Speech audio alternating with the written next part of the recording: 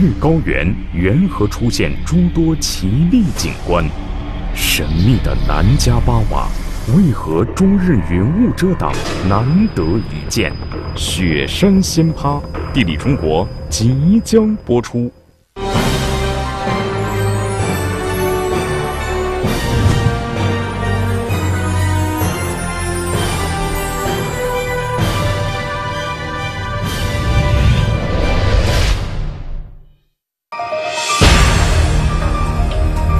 各位好，欢迎收看我们今天的《地理中国》节目，我是盛春。植物是地球生命的主要形态之一，它们的分布和生长发育往往会受到自然环境的影响，因而环境不同，植物的种类也会有所差别。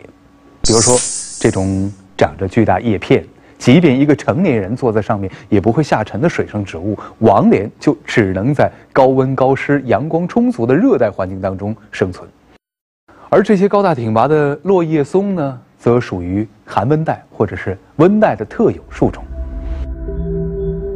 从植物种类分布来说，我国的西藏自治区呢具有鲜明的特点。那里由于海拔落差大，因而植物的种类很多，同时这些植物之间的相互的差异性也较大。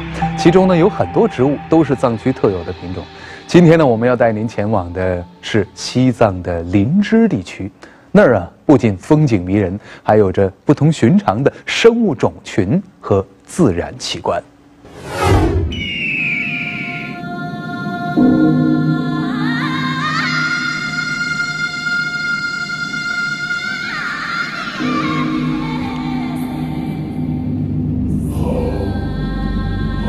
世界屋脊青藏高原，平均海拔超过了四千米。印度洋板块的冲撞。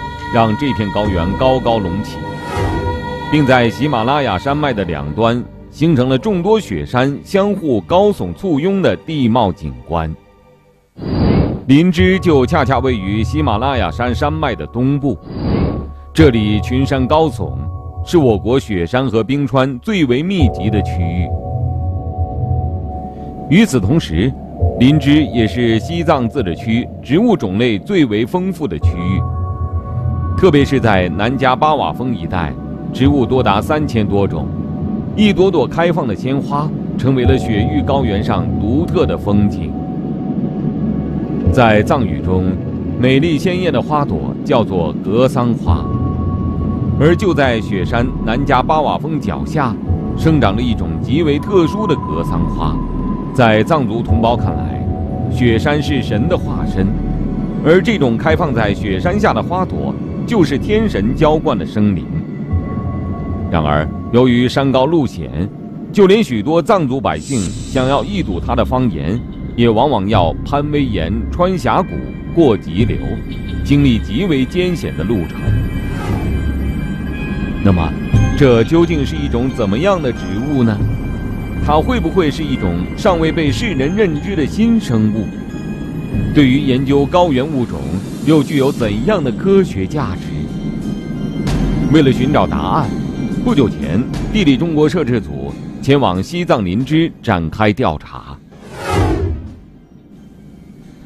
林芝市位于西藏自治区东南部，雅鲁藏布江的中下游，距离西藏自治区首府拉萨市四百余千米。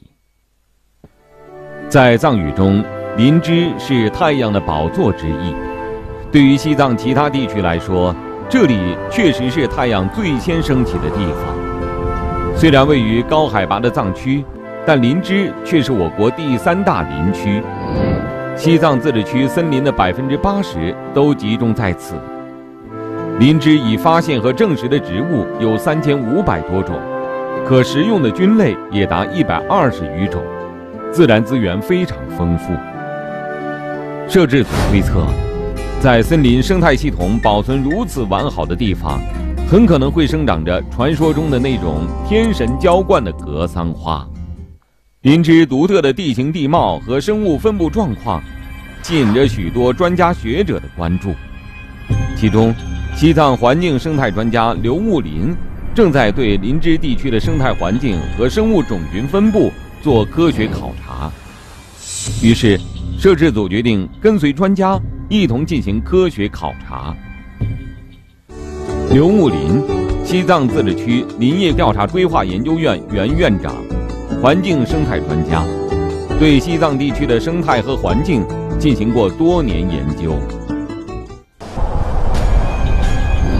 刘武林告诉我们，在巴宜区东部的米堆冰川旁有一面湖泊，那里气候湿润，神秘的格桑花很有可能就生长在那里。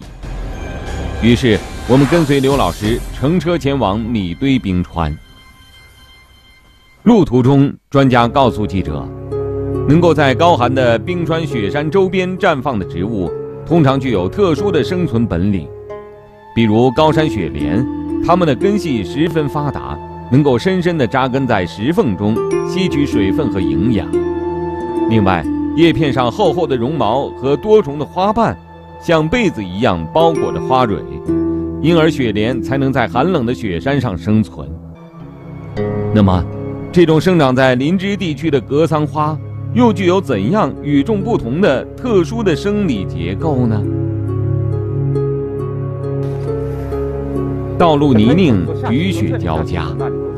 经过了一个多小时的艰难跋涉，考察组终于来到了米堆冰川的脚下。四处搜寻，我们并没有看到鲜花的踪迹。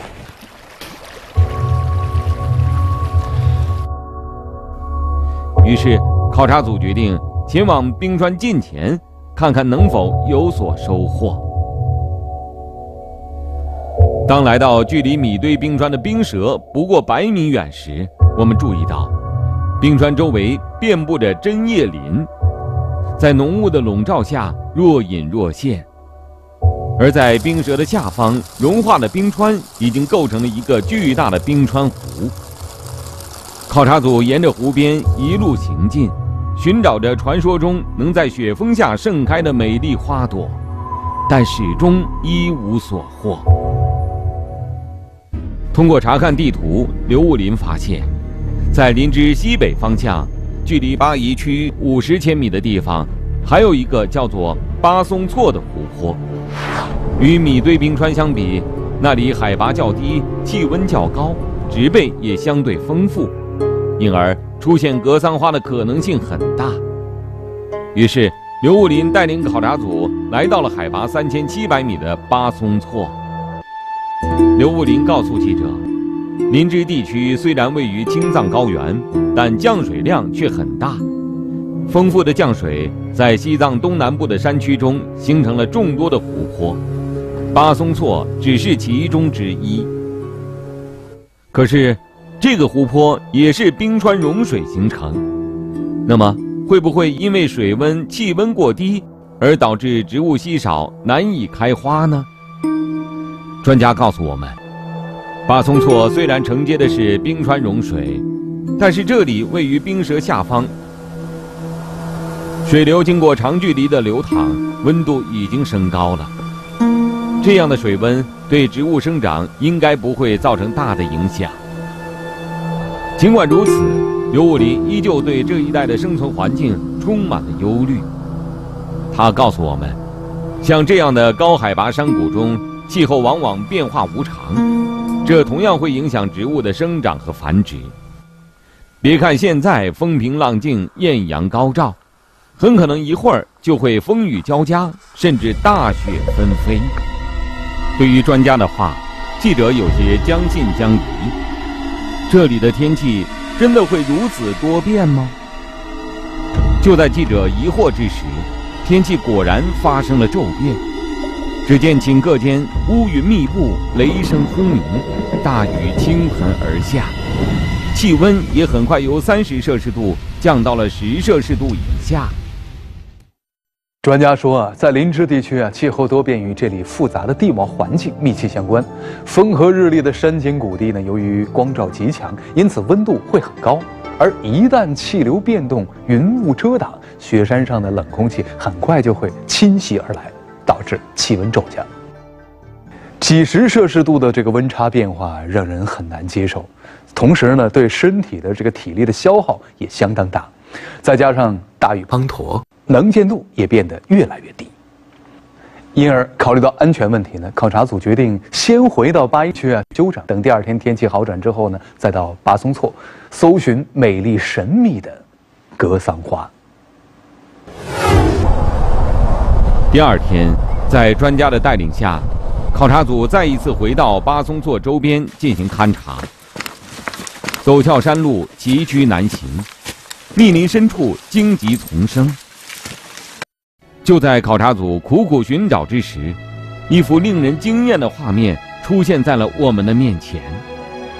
只见山林间松柏下，草地上、湖水边，到处都是盛开的花朵，一簇一簇的连成一片花海。这正是藏民们所说的那种生长在雪山脚下、天神浇灌出的格桑花。走到近前，凭借在西藏地区研究生态环境和动植物分布几十年的经验，刘武林辨认出，眼前这些不畏高寒、迎风绽放的，正是高山杜鹃花。刘武林说，杜鹃是一种常绿灌木，主要生长在温暖湿润的山地，在世界上分布广泛，我国也有三四百个品种。记者注意到，这些杜鹃虽然没有生长在雪地之中，但是和雪山的距离非常近。在花丛旁，我们能深切地感受到空气中的阵阵寒意。刘武林说：“虽然已是初夏季节，但这里的海拔毕竟接近四千米，气温很低，而且随时会下雪。如此严酷的自然环境。”并不适宜常见杜鹃品种的生长。那么，这些在巴松措遍地开放的杜鹃花，是属于什么品种呢？它们又有着怎样的生存秘诀呢？这个杜鹃品种是什么品种？这个应该是密枝杜鹃。它这个杜鹃花的特点是什么？你看这个里面，花朵里面呢，都有很多特色的小点，蜜点、蜜汁点都有。就是下面这个红色的点，这是它的特色。这个是粉的，你还有别的地方就是说是血红色的，哎，有黄的，有纯白色的。刘武林告诉记者，蜜汁杜鹃之所以能漫山遍野的生长，是多重因素决定的。首先是它们独特的繁殖能力。我们说的雄蕊、雌蕊在这里面，这里边包括雄蕊、雌蕊吗？都包括了，有雌蕊有雌蕊，直接它自己就能授直接授粉啊！这在植物学上叫雌雄同坐。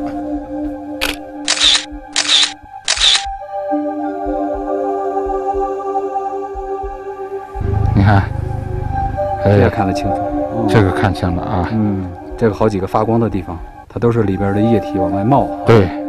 这花粉就很容易粘到上啊，粘到上面了。它现点的液体，嗯，是这朵比较完整哈。哎，为了更好的说明杜鹃高效的繁殖能力，刘武林让记者采下了其中的一个花瓣。哦，里边有一个一个红的，那就是红的一个瓶子转一样的花瓶转一样。嗯，实际上它是它的脂肪，脂肪膨大以后，将来的硕果种子。呃，就在里面。哦，这个长一点的反而是雌性，雌性的。哎，短的这个白的呢，是那个雄花，雄花，雄粉，花粉，花粉。它们两个离得很近，很容易就是授粉了哈。授粉，嗯，授粉了之后，这个地方就会发育成一个种子，种子，哎，就果实，果实哈。专家说，除了自然授粉，小昆虫的帮忙让这一过程变得更为高效。你看它的腿上，腿上全沾的是花粉，哎。你看这个腿都成白色了，对，哇，它钻到最里边去了。虽然杜鹃花这种传播授粉方式在植物界并不罕见，很多被子植物都是雌雄同株同花，但它们却依然无法在寒冷的青藏高原生存。难道说林芝地区的杜鹃花还拥有其他生存秘诀吗？专家刘武林告诉我们。这种蜜汁杜鹃为了适应高寒的气候环境，还演化出了特殊的叶片结构。这个地方湿度大，又在寒冷，叶肉很厚。哦嗯，我们植物学上叫革质的，就是皮革，光滑的，哎，像涂了一层蜡似的。它涂了一层蜡，嗯，它更是哎耐寒冷，但是它还能够是常绿的。叶子背后你看有这个绒毛，哦，绒毛绒毛实际上它这个绒毛的作用，也就是这个地方寒冷阴冷的，就就像人们盖的一层被子一样，起到这种保温作用。保温。刘武林接着告诉我们，在青藏高原，有很多植物都具有这种革质叶片，但却无法像蜜汁杜鹃这样大面积生长。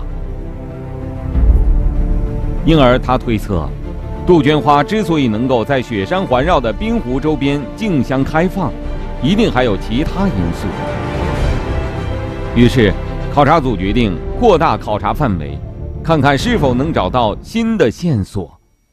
沿着崎岖的山路继续行驶，一个多小时后，远山下的一片美景吸引住了考察组的目光。漫山遍野的桃花粉白相间，竞相绽放。一个小山村在花海的掩映下，宛若世外桃源一般。中无杂树，芳草鲜美，落英缤纷。陶渊明笔下的桃花源。也许就是这样的景致吧。看着眼前的美景，记者竟然有种从青藏高原穿越到江南小镇的错觉，而这种错觉也将成为此次科学考察新的方向。随同考察的专家刘务林告诉摄制组，这片绚丽多彩的野生桃花，还只是林芝地区桃花景观的一个缩影。野生桃树在林芝地区分布非常广泛，每逢春季，各地的桃花都会竞相绽放，花期从三月一直延续到五月，装点着这片雪域高原。桃树在内地属于一种常见的树木，它们喜温暖潮湿，花期一般在十天左右，而如此大面积的在青藏高原中生长。花期又竟然长达两个月之久，实属罕见。这究竟是一种什么桃花呢？这是西藏特有的，叫光核桃，是西藏高原上特有的一个物种。它的盒子类似于桃盒子和这个杏盒子中间，这就是你看这里面把它剥开，你剥开看，它是。沟比较浅又比较光滑，所以取名光核桃。一般的核是那种纹路沟比较深，哎，这个比较光滑。刘武林说，这种藏区特有的光核桃拥有着顽强的生命力。雅鲁藏布江中游以下，海拔四千二以下，呃，到一千六以上，在这个。海拔高度的范围之内都有分布，它陆续从海拔低的地方，一直到这个海拔高的地方，一直往上开。穿梭在娇艳美丽的桃花丛中，记者不由联想到，在林芝巴松措湖岸边看到的景象：山林间松柏下，草地上，湖水边，到处都是盛开的蜜汁杜鹃。它们不畏高寒，迎风绽放，一簇一簇地连成一片花海，在雪山的掩映之下，显得无比娇艳。那么，整个西藏地区都属于高海拔的寒冷之地，为什么只有林芝拥有着如此丰富的植物群落呢？什么样的气候条件下生长什么样的物种，这个是大自然造就的。刘武林接着告诉记者：“如此丰富的植物群落在林芝出现，有一个共同的因素，那就是南迦巴瓦峰。在藏语中，南迦巴瓦有多重含义：一是指直刺天空的长矛，另一种是雷电如火一般燃烧。从这些名称中，我们不难看出这座山峰的高大和险峻。不过，南迦巴瓦峰还有另外一个名字——修女峰，描绘的则是这座雪山的神秘。因为南迦巴瓦峰整日躲藏在乌云之中，人们很难看到它的真容。而有幸见过南迦巴瓦峰的人们，则会被其深深震撼。在当地人的心目中，这座充满奇幻色彩的巍峨雪峰便成为了神的化身。这座雪峰为什么如此神秘？与林芝地区奇特的动植物现象又是否存在着关联呢？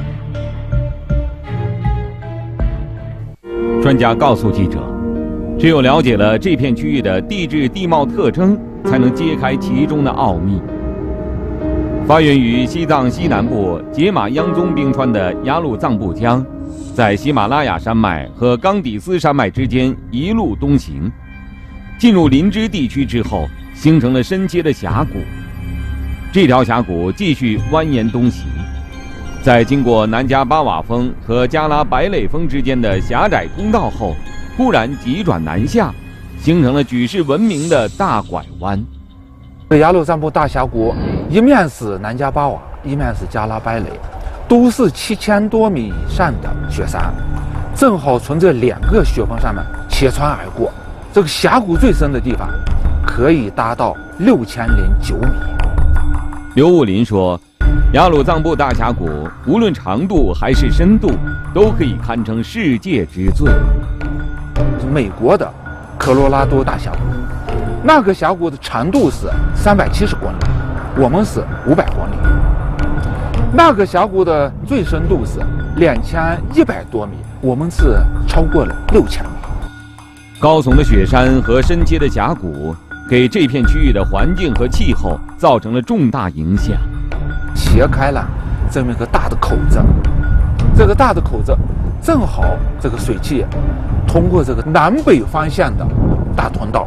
往北面运输，呃，所以呢，将这个热带地区的热气、水汽，就是向北面直接输送上来，所以这个地方的热量相对来说比同纬度地区的热量要高。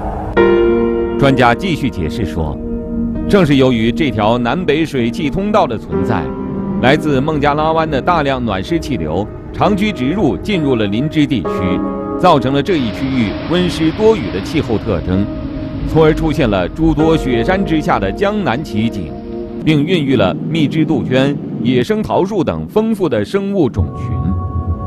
同时，由于南迦巴瓦峰就在水汽大通道的旁边，因此也导致了南迦巴瓦峰周围的云雾多于其他地方，山峰几乎终年被云雾遮挡。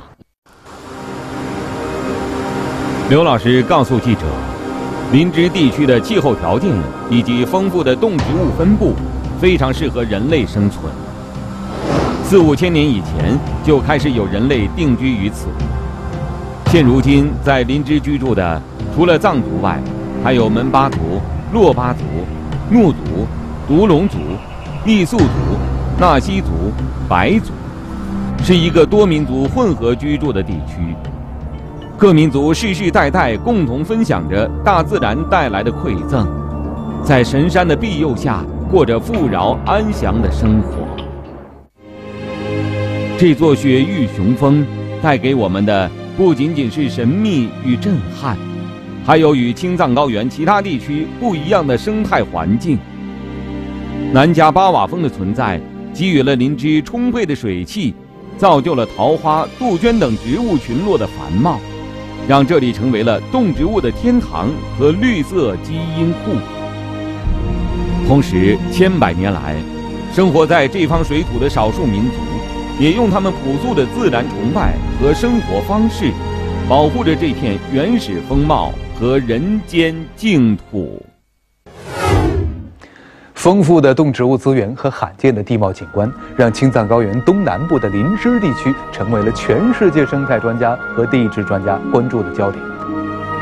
艳丽的高山杜鹃和桃花，广阔壮美的冰湖，神秘雄伟的南迦巴瓦峰，以及深不可测的雅鲁藏布大峡谷，这些景致啊，还只是林芝自然奇观当中的一部分，更是地球板块运动塑造山川地貌的一个缩影。虽然我们人类的历史已经有几百万年，但与漫长的地质年代相比，却只是一瞬间。而我们作为地球上具有主导地位的智慧生物，应该如何与大自然和谐相处，已经成为每个人都要面对的问题。好，感谢您收看我们今天的《地理中国》节目，我是盛春，咱们下期再见。